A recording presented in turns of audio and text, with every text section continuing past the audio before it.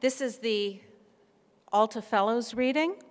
Um, each year, between four and six thousand dollar fellowships are awarded to emerging translators, meaning either unpublished or minimally published, to help them pay their hotel and travel expenses to this conference.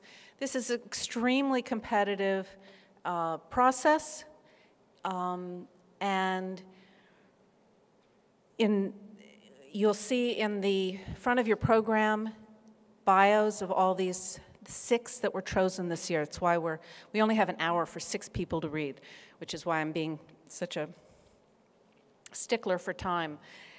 Um, please read their bios. These are phenomenal new translators. We're very, very lucky to have them here. I, I'm very glad I'm not a young translator because I would have no chance at this point if I were to compete with any of them. Um, the Alta Travel Fellowship is funded by a combination of member dues and private donations, and we are just very grateful that we're able to come up with this money each year and, and have these uh, young people read for us and be our fellows. Are there any former fellows in the audience? Okay, so this is, I, I know that, and I know there are more here at the conference who may have not trickled in yet. Well, we're very glad to have them part. Obviously, this is a wonderful way for Alta to grow as an organization. So please read the bios. I'm going to um, let them take, take over the reading, and I will ask Annie to begin.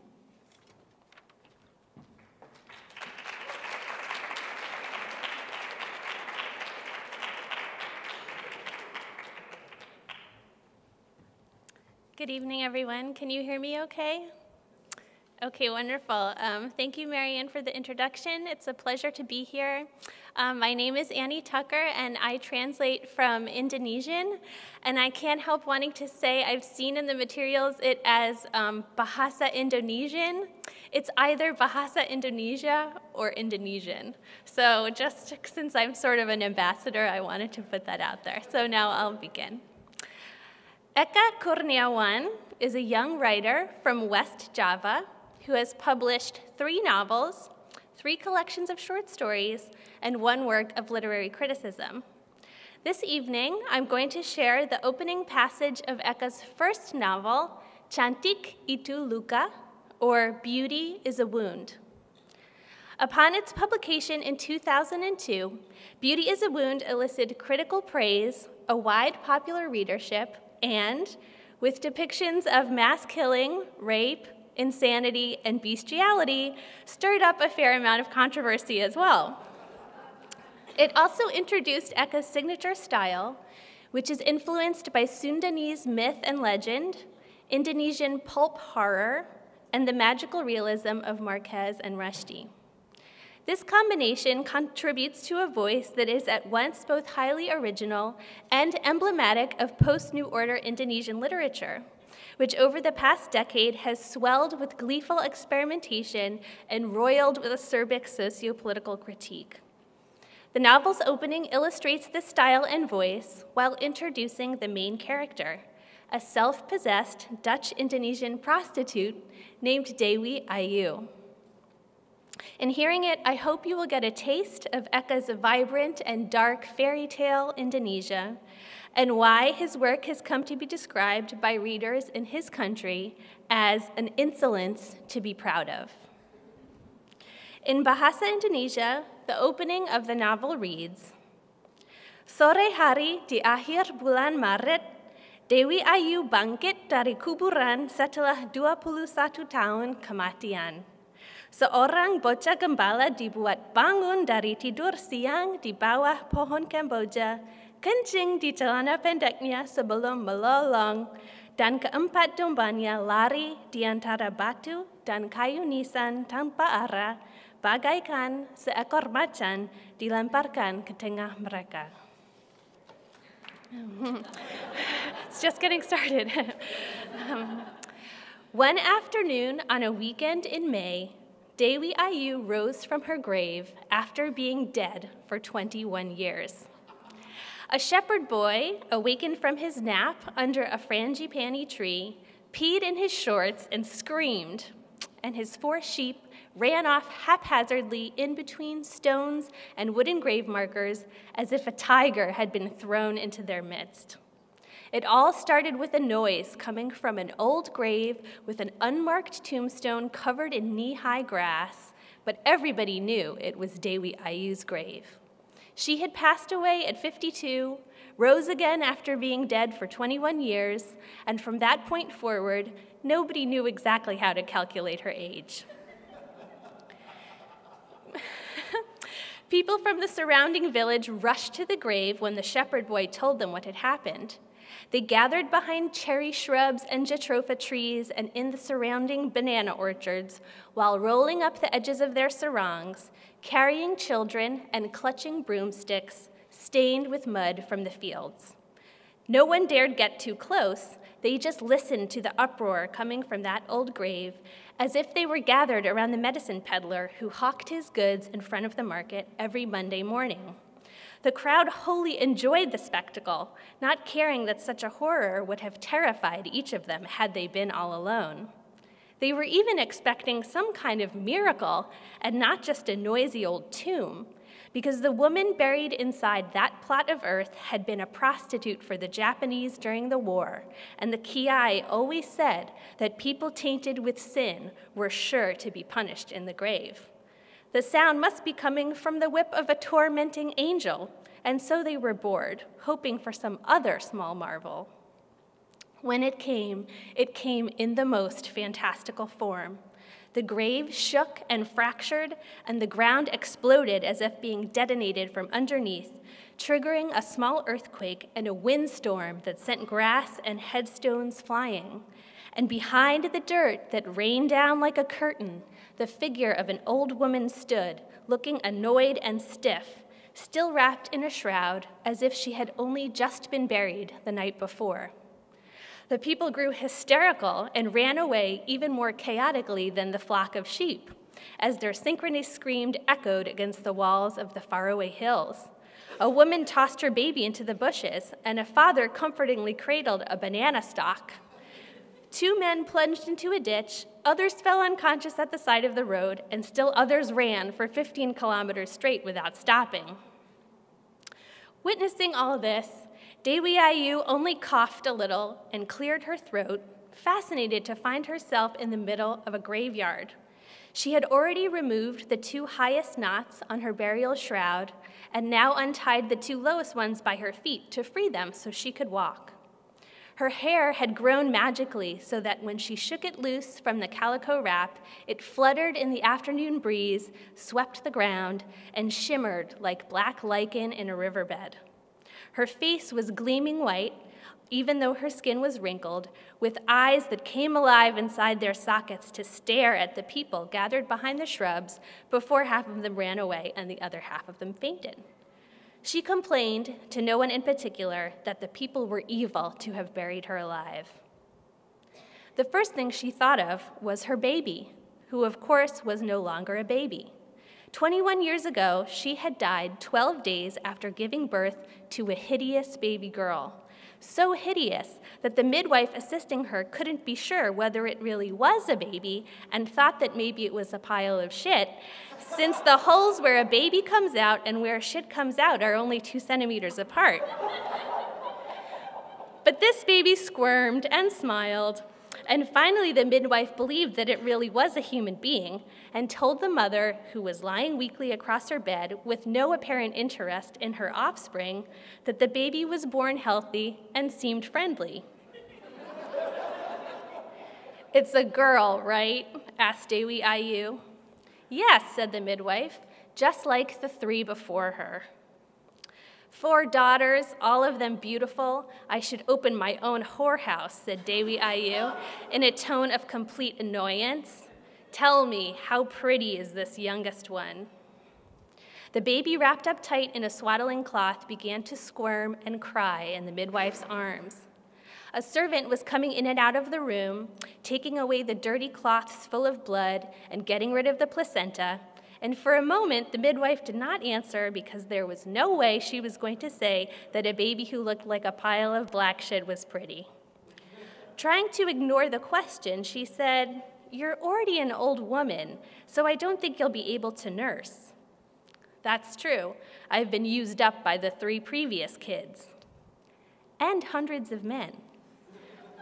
172 men, the oldest one was 90, and the youngest one was 12, just one week after his circumcision. I remember all of them well. The baby cried again. The midwife said she had to find breast milk for the little one. If there was none to be had, she would have to look for cow's milk or dog's milk or maybe even rat's milk. Yes, go, said Dewi Ayu. Poor unfortunate little girl, the midwife murmured, gazing down at the baby's upsetting face. She couldn't quite describe it, but she thought it looked like a cursed monster from hell. Its entire body was jet black, as if it had burned alive, with a bizarre and unrecognizable form. For example, she wasn't sure whether the baby's nose was a nose because it looked more like an electrical outlet than any other nose she'd ever seen in her entire life. And the baby's mouth reminded her of a piggy bank slot, and her ears looked like pot handles. She was sure that there was no creature on earth more hideous than this wretched little one, and if she were God, she would probably kill the baby at once rather than let it live. The world would abuse her without mercy. Poor baby, said the midwife again, before going to look for someone to nurse her. Yeah, poor baby, said Dewi Ayu, tossing and turning in her bed. I already did everything I could to try to kill you. I should have swallowed a grenade and exploded it inside my stomach. Oh, wretched little one, just like evildoers, the wretched don't die easy. Thank you.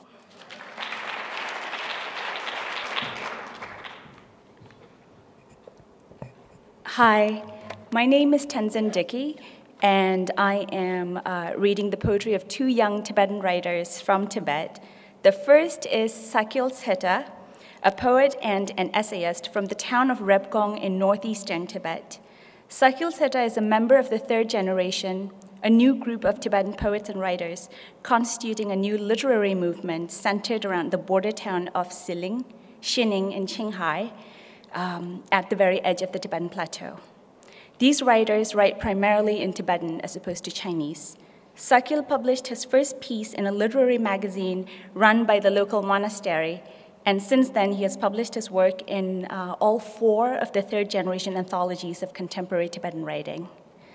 Sakil Seta's poem Repkong was published in March 2013 on the popular and prestigious online journal Gendun Chompel. The poem is an ode to the poet's hometown, Repkong, which is a hallowed place in the Tibetan consciousness. It has produced many of Tibet's most famous writers and scholars and is known for being a literary and intellectual cradle. This poem is a celebration and assertion of, and also mourning for, Tibetan identity and culture and history.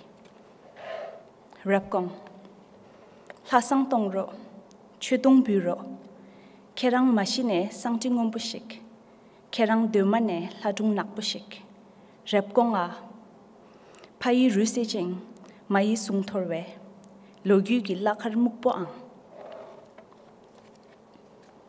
Repkong, burn the offering of incense, blow the dharma conch. You are a blue altar for incense, you are a dark fairy tale from long ago. O Repkong, black fort of history, where my father's bones decayed, my mother's vital spirit scattered. Sometimes you are like the cool breeze streaming through the high mountains, sometimes like the clear water sluicing through the low valley. Precious to the king's heart, like its heart blood boiling, is the glittering Rongbo monastery, a black tent resplendent amid blue grass, or a line of young wild yaks on mountain crags. O Repkong, fatherland, famed Repkong of history where the dust has not yet settled. You are a song to sing, a dance to dance, where the poor dream joyful dreams, the rich display color turquoise and corals, and the lonely down their drinks in one shot. Every morning and every evening, the red valley is wreathed in a belt of smoke. like the chest of a freshly slain yak as the smoke rises, curling into air. Where there is cause and effect, whatever the season or the time of day, when I bind my pain and gaze at it, you leap at times into the sky, an eagle, at times fall into the water like an autumn leaf. This may be the sinful karma of your unhappy deed, the divining sign that your soul stone will disintegrate. Like a camel in the desert, an exiled people has no traces of their journeys and sufferings. Repkong, a land from which the young wish to leave, to which the old wish to return. Burn the offering of incense, blow the dharma conch. You are a blue altar for incense, you are a dark fairy tale from long ago. The second poet is called Ngarma. He is a young and emerging poet from Amdo, northeastern Tibet, also. This poem was published in Gendun Chompel in 2011. Ngarma is also a composer of the lyrics for the song New Generation by the Tibetan rock band Yunduk, which has become an anthem for Tibetan youth in both Tibet and in the exile diaspora across the world. Ngarma is the pen name of the poet Jigshel Kep. Tibetan writers usually use pen names, and the word Ngarma means anger.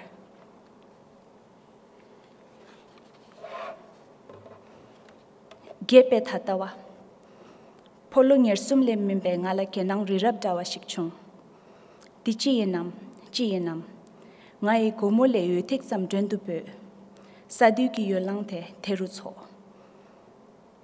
Changar ne thuk sen. Khyak sen ba mang bu shek lar yang thedap me bata the present of the past. Only 23 and a mountain range of regret. What is this? What is this? From the door i invite a drop of light dust particles assemble here the tea has long grown cold much that has cooled cannot be warmed again. All these various incomplete drawings can't be erased. I can't forget unfinished works. Breaking the three unbroken arrows on my clock, I disarranged the 12 numbered hours. In the morning, hid from myself wrinkles on my forehead. A vehicle drags a tail of black smoke, rushes east at dawn, and returns west at night. Near the highway, I see a couple kissing happily. I see in my mind not my past, but their future. Only dreams plumb the mind's depths. The forgetful mind makes me feather light. One day, as you see me flying, that's an illusion. But another carrying me, that's real. My hair fell and grew. My eyes popped out of the dark.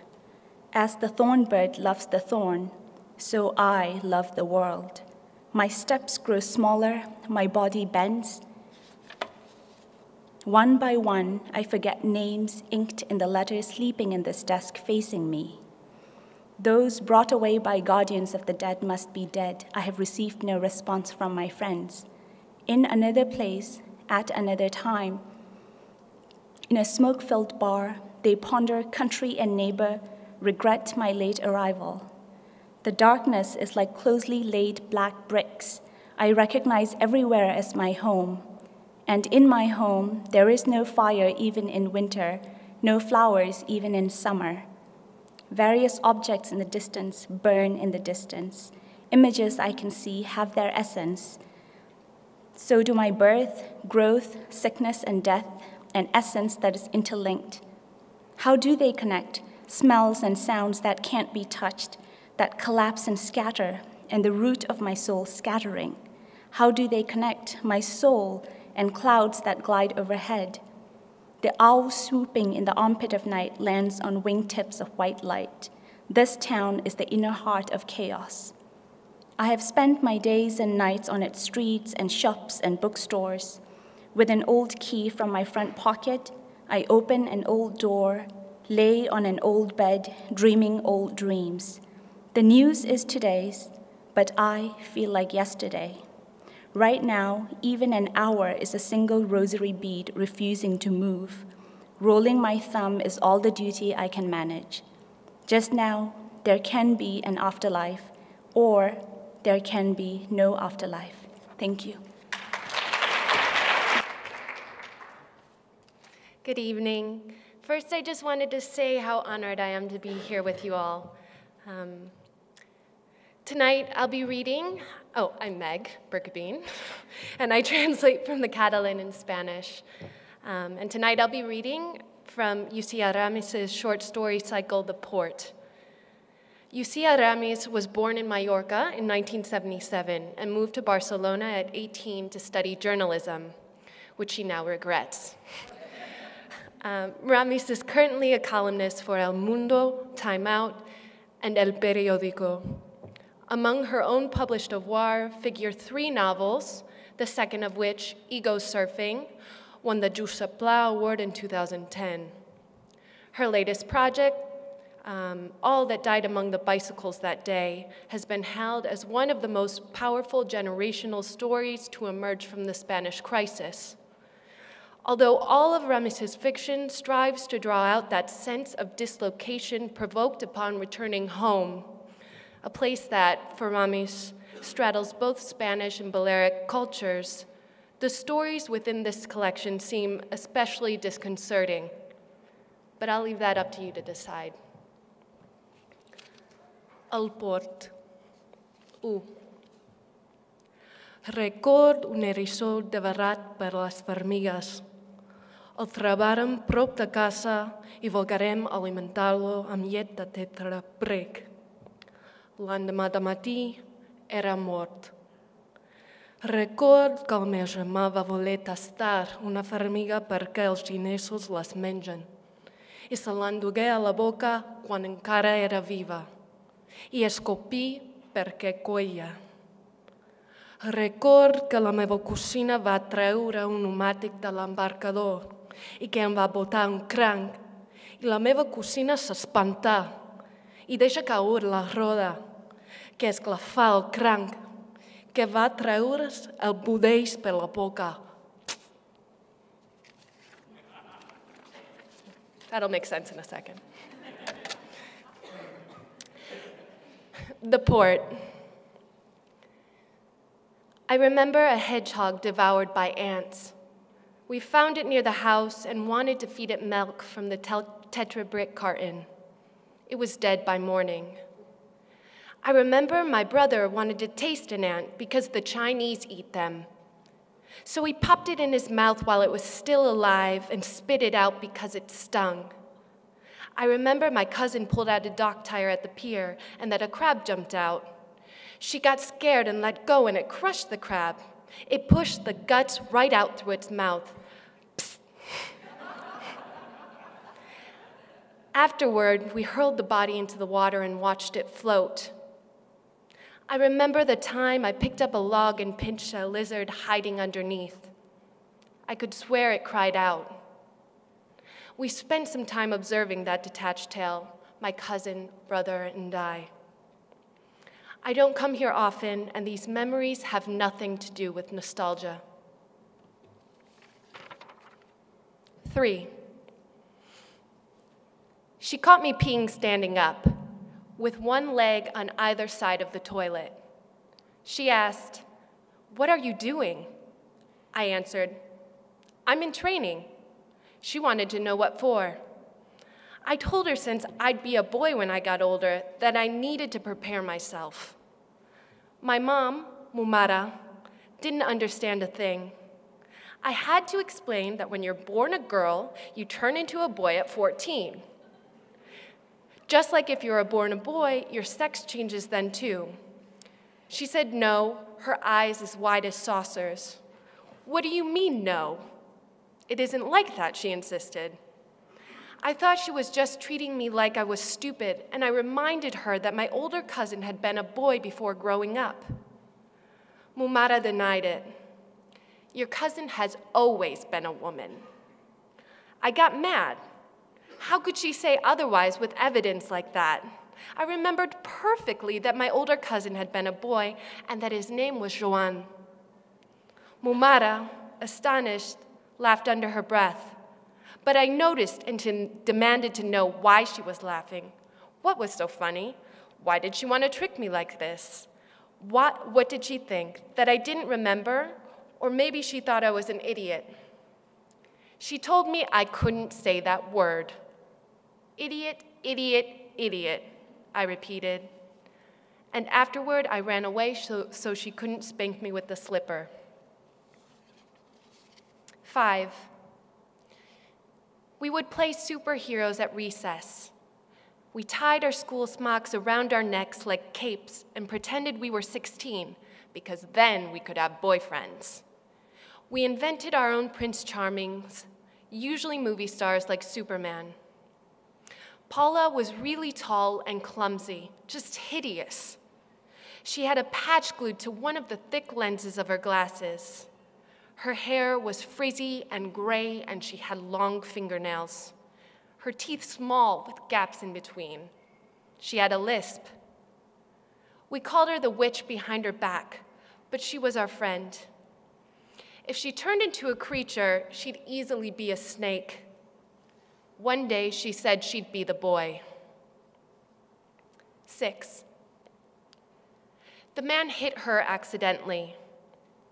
Afterward, he kept running without even acknowledging us. Shit, Begoñita cried out, which embarrassed me a bit because we couldn't use that word at home. She suddenly realized that her hand was bleeding. I didn't know what to do. It grossed me out. She was crying from shock. To me, it was the dirty blood of dogs, of cats and fish in fur, chameleon or canary blood. It made me sick. A woman came over to see what had happened. She asked where Begoñita's parents were, what insurance she had, things she couldn't answer. She said she'd take her to the emergency room. Begoñita's kept asking me not to leave her all alone. At 11, I answered very seriously, No, I've got to go. My parents will get worried if I miss the bus. This woman will take care of you. And I left her like that, with another stranger. Seven. Do you want to get married? Wrapped up in my legs, both of us lying on a bed of white sheets, sweaty and naked. It was summer then. He uses those words that so overwhelm me. I respond that the time for stupid questions is from 6 to 6:15 in the morning, and now he has to take me home. I remember his name, but I won't write it down just in case. Just in case in his written presence is still as resounding as the one in my memory of that night. I knew one day I would tell him yes. We'll never meet again. Eight yellow crates for hauling glass bottles, our checkered butts sitting on those crates. Would you like some more coffee? We'd play house, and I was always the guest. Yes, per favor. My knees fully bent, the hammocks are fort. Sometimes the dolls too, but we usually didn't play with dolls. And grandmother's biscuits. Nine. Is that a hand over there? It was my cousin who found it. We ran over to the rocks in flip flops. The man reeked of fish, and flies swarmed round his neck. His head was gone. I don't remember us screaming or running away or why we wanted to touch him with a stick. Nor do I remember who we went to tell him about or when. I only know that the police came because they told me so afterward, and that I wet the bed that night. I was a big girl by then, already nine. Now it's my body that floats. Thank you.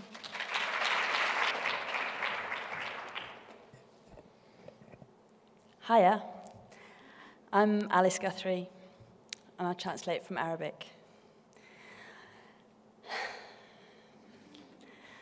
So, the writer and academic Zaher Omareen was born in the Syrian city of Hama in 1985, just three years after the massacres of 25 to 35,000 people committed there by the Assad regime. That's Assad the father. You're about to hear an extract from a story called Milk, Halib in Arabic, taken from his forthcoming collection, Tales of the Orontes River, or Hikayat al Asi. This book is not only the first ever literary work to openly address the massacres, but in another huge break with convention, the stories are written entirely in the local oral dialect rather than in formal standard Arabic reflecting the way they have been handed down until now, orally. Here, as in each story in the collection, a parent is telling their child a tale from the events, the euphemism universally adopted until now in Syria to refer to the massacres. And in Arabic it begins, Eh, eh walahek yani lakan, لأنه ما ضل حدا بحما ما ردع من صدرها إيه حتى أخوك الكبير لما نطت حليبي بالأحداث رضعته هي على يرحمها Yeah, yeah, that's right. There's absolutely no one in the whole city she hasn't breastfed. Even your older brother, actually. She fed him when my milk dried up during the events. May she rest in peace. Is that why he used to call her Yamu when he was little? Yeah, exactly. We got him used to doing that when he was really small. And it would blow her mind when kids called her that. She loved it. And there were lots more like your brother, of course. In those days, Ya Latif, there were so many tiny babies whose mothers had passed away in the events when they were still breastfeeding. Every time we found an orphaned baby who needed breastfeeding, we'd take it straight to Umm Mahmoud. And then, of course, there were all the babies whose mother's milk had dried up from shock and terror, like mine had. And Umm Mahmoud, my God, she was incredible. She was such a warm, motherly person that her breasts were like cream churns, swollen with this rich nourishment which somehow or other never dried up, luckily for all those children. Even though at the time she was probably getting on for 40, but Ya Latif, what trouble and heartache that story brought to some of us later on. Why? What happened? What happened? All the families got mixed up. No one knew anymore whose child was whose. Or, like what happened with Ibn Siqa, ugh, it was such a terrible thing. What happened? I'm getting there, love. Hang on. When they raided Bain al Hayrain in 82 during the events, Apparently, there was no one left alive from that neighborhood to even tell the tale. Very late one night, the baker, Abu Khaldun, he was very well known in Hama back then, actually, because his bread was as fluffy and light as whipped cream. It was such great bread. Anyway, late one night, he heard someone knocking really loudly at his door. And in those days, you see, we all knew that a knock on the door in the night could only mean two things. We were either going to prison or going to be executed. So Abu Khaldun got himself up and quickly said goodbye to his kids and then to his wife. And he put on his sheepskin coat. It was bone cracking cold out there. And he opened the door. And there, on the doorstep, he found a soldier standing in the bitter cold night with a tiny baby in his arms, still in its swaddling, chilled to the bone and crying its eyes out. With his eyes full of tears, the soldier put the baby into Abu Khaldun's arms and said, Take this. It's all that's left of Bain al Hayrain. As Abu Khaldun, the baker, tells it himself, I took that baby and I tucked him in between my two children in their bed, and straight away he warmed up and fell asleep. I, I got back into bed with my wife, and I made a vow to God Himself right there that this baby would be one of my own children. The next day, there was a sudden raid on our neighborhood, and they banged on the door. They were coming to get me. But then the soldier who'd brought me the baby that night recognized me, and he spared me. By the grace of that child, I was saved. Well, that baby had, been, had still been breastfeeding when it lost its mother, so it needed milk. Om Khaldun threw herself at the problem with a passion, soaking tiny scraps of bread in water and trying to fi- feed them to the little one. But he was only a newborn. He wasn't ready for solids at all. And before even a couple of days had passed, he started getting weak and ill, and he'd screamed so much he'd lost his voice. That baby was on the brink of death, basically. Abu Khaldun was absolutely losing it. He started rushing around, searching frantically for milk all over the city. But there literally wasn't a drop of milk to be had in all of Hama right then. It wasn't milking season yet, it was February, and the sheep wouldn't produce any milk at all until the middle of March. And then Abu Khaldun heard that Umm Mahmud was breastfeeding all those orphan children. He picked up the baby at once and he rushed over to her place. Umm Mahmud says that when she saw Ibn Siqqa crying noiselessly like that, half dead, something happened inside her, and her milk just started gushing out like never before. In those days, I was constantly, constantly taking your brother around to Umm Mahmud's place so she could feed him too. My God, I'll never forget what it was like, son. We were practically queuing up to get our babies fed. Her house wasn't big, and we'd take her whatever God provided. One of us might have an egg for her, another brought some bread, maybe someone else brought some meat or a bit of veg.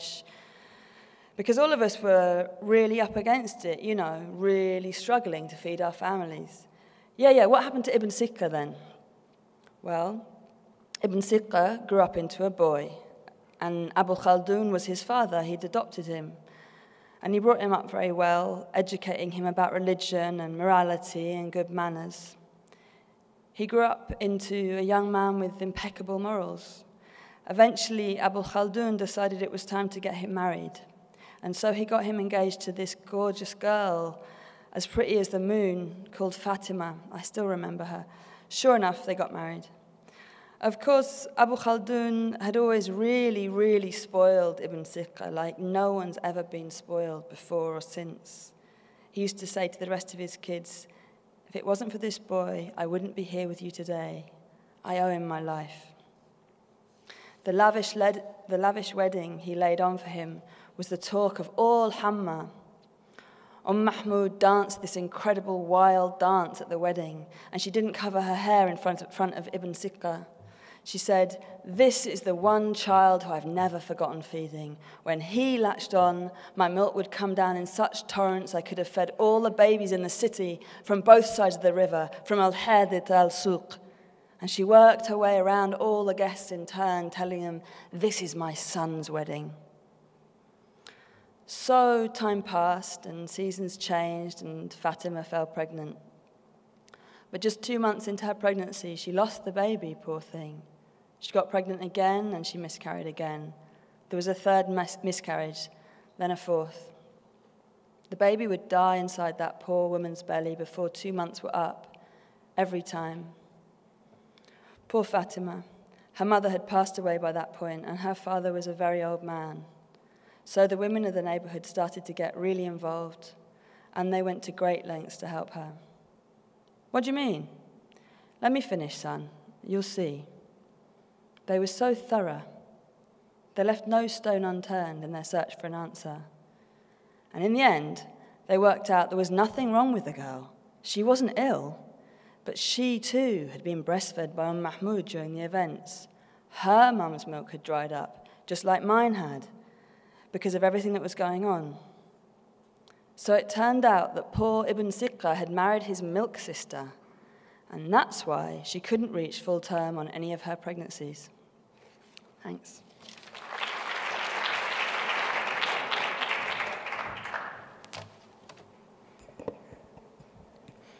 Hi, um, I'm Sara Novic. I've been translating the poet Izet Sarajlić from the Bosnian. Uh, Izet Sarajlić was born in what is now the Bosnian Serb Republic in 1930. At age 15, he moved to Sarajevo and remained there for the rest of his life. Much of his work is about his love for the city, which he considered his home. Sarajlić published his first poems when he was 19 and went on to publish 30 books of poetry. He also worked as a journalist and translator, wrote numerous essays and memoirs, and was a professor at the University of Sarajevo. Though he is widely regarded as one of Bosnia's most famous poets, English translations of his work are few. Sarajlić's poems, as I hope will come across here, are characterized by spare language and a dark, dry wit born out of the socialist aesthetic and what I like to call Slavic angst. Um, the poems I'll read for you now are mostly all from the collection Sarajevska Ratna Zbirka, which means Sarajevo War Journal, written in the first 30 days of the siege of Sarajevo in 1992 and published in 93 across the border in Slovenia. Of the book, he's quoted as saying, This is the only collection of which I can say I would have loved never to have written it. Um, he died in 2002.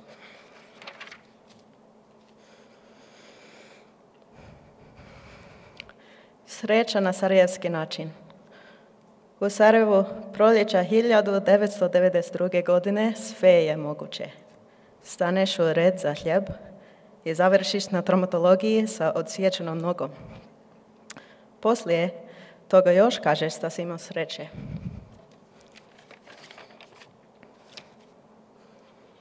Luck, Sarajevo style. In Sarajevo, in the spring of 1992, anything is possible. You go and stand in a bread line and wind up in the trauma ward with an amputated leg. Afterwards, you still say that you were very lucky.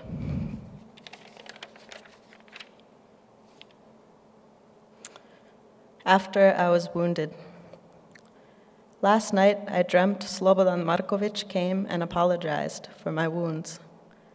It was the one and only Serbian apology this whole time, and even that was just in a dream and from a dead poet. Patriotism of a Yugoslav writer. A Yugoslav psychiatrist is successfully treating the mentally ill in Detroit. A Yugoslav violinist is first chair at the conservatory in Brussels. A Yugoslav mason raises new buildings in Stockholm. A Yugoslav painter is the best in contemporary French painting. The Yugoslav footballer is the best right wing back in the Bundesliga from our temporary or permanent foreigners, one could assemble another little country abroad with representation from all trades, except for ours, literature. Connection between the mind and the body and the limitations of communication in general. Um, another part of the series was um, a novella about a young woman who smuggles in drugs from Mexico and works to assist terminally ill patients um, who wish to end their life. And this was originally published by him under the pseudonym Angela del Fabbro. And the story inspired a movie that uh, it's called Miele, Honey in English, that um, was a, was shown at Cannes uh, in 2013, I believe.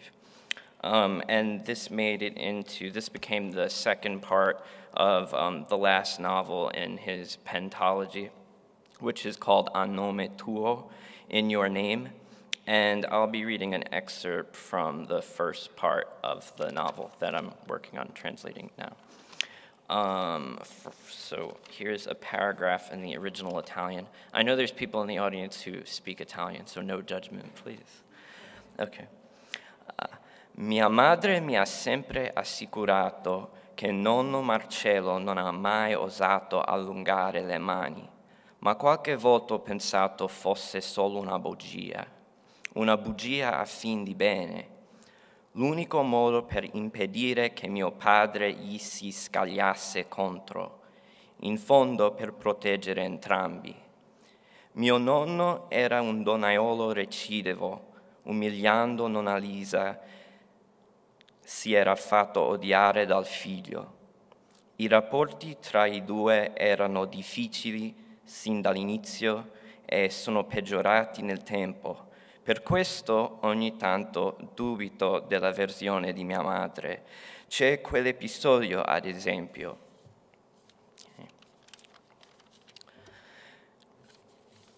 Let's go to the first page. Okay. My mother always assured me that Grandpa Marcello had never dared touch her, But there were times I thought this might be a lie, a white lie, the only way to stop my father from killing him, to protect them both in the end. My grandfather was a recidivist womanizer, which shamed Grandma Lisa, and his son hated him for it. Relations between the two had been difficult from the start, and they grew worse with time. Because of this, I sometimes doubted my mother's version of events. There was that one time, for instance.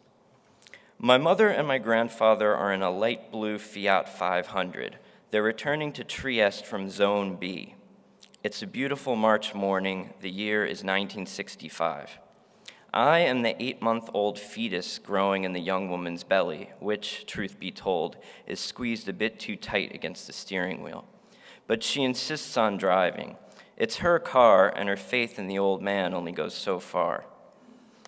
In 1965, Trieste has been, an, has been Italian for 11 years, but the feeling of separation remains, a split that is still clear in place names Zone A and Zone B, the city and its former eastern periphery, two slices of the same cake that were divided with one cut of the knife in the 1946 peace agreements. Zone A controlled by the Allied forces, Zone B controlled by Tito. In 1954, when Trieste officially joined the land of La Dolce Vita, the split between the two zones would also become the split between two worlds, capitalism and communism, the sky blue fiats of liberty and the rusting Yugos of equality. But life, of course, is not lines on a map and the people of Trieste are still in the habit of making trips to Zone B. To this day, the place name remains in the local vocabulary to indicate what is now just a tiny, nondescript piece of Slovenia, a speck in the European Union packed with casinos and wellness centers. Many people at the time still owned small plots of land just across the border, which had not yet been confiscated. Some continued to conduct business in the nearby port of Capodistria, but the vast majority of people went to Zone B to stock up on meat, cigarettes, and gasoline. And this is exactly what my mother and grandfather have done.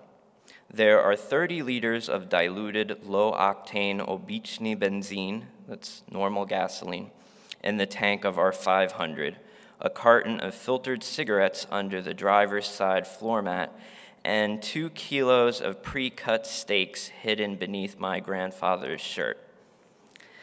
The customs officers wouldn't look under the seat of a pregnant woman, nor would they frisk an old pensioner. It was an admirable plan. In the back, in plain view, there was a bag of worthless little trinkets which sit ready for the question anything to declare? It hurts the Italian gas stations and butchers. It's a betrayal of the land of La Dolce Vita. But who cares? Everything is cheaper there, and more importantly, we are Triestini, former subjects of the Habsburgs, former citizens of fascist Venezia Giulia, former inhabitants of the free territory of Trieste. Italy is far away. One didn't even need a passport to enter Zone B. All one needed was a laissez-passer, a document that embodied the mix of sensations I felt as a young boy on those excursions. It wasn't a real trip abroad, and yet I was crossing a border. I was entering a country where even the ice cream spoons were different. It was right around the corner, and yet a mustachioed guard needed to let us passe. After the border stop, I was struck by a sad uneasiness. I was home, but I wasn't home.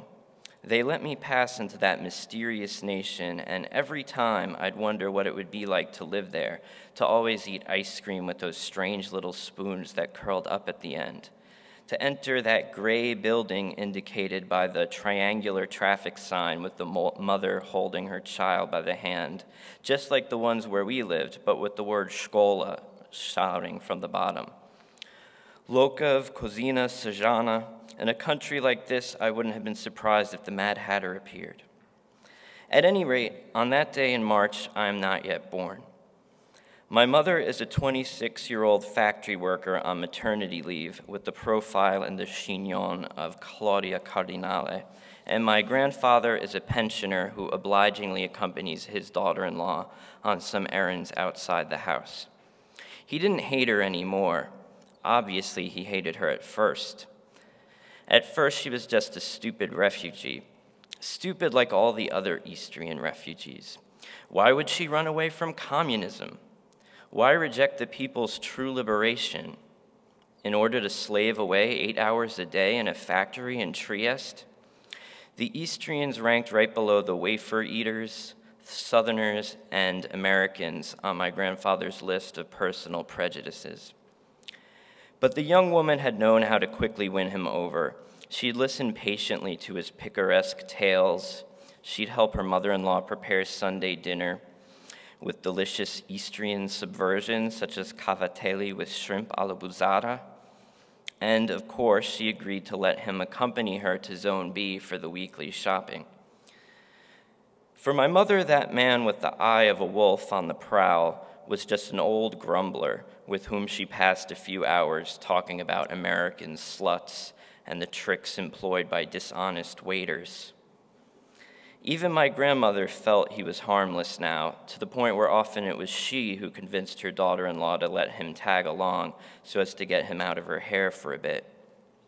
But how did my grandfather see himself? Did he see himself as a broken man when he looked in the mirror? After all, he was only 68 years old, with the broad shoulders of a young man and a receding hairline which, rather than softening, accentuated the sleazy air about him. Had he really managed to keep his hands off his son's wife? Then how does one explain his reaction that morning? The Fiat 500 stops in front of the Yugoslavian sentry post. One officer checks their laissez passer, the other, standing a bit behind, looks at the two of them in the car. My mother doesn't know Slovenian, but she swears that they didn't say anything. Not a raised eyebrow, not even a quick parting of the lips. But my grandfather heard it. In the officer's tight lips and their vacant eyes, he saw the words that spoke his desire. Stari parsek na filo. The old goat knocked her up. Without a second's hesitation, he jumped out of the car and ran up to the sentry post, shouting in his mother tongue. In a scene whose symbolism was all too obvious, these quick movements made his shirt come untucked, and the bag of meat fell to the ground. Thank you.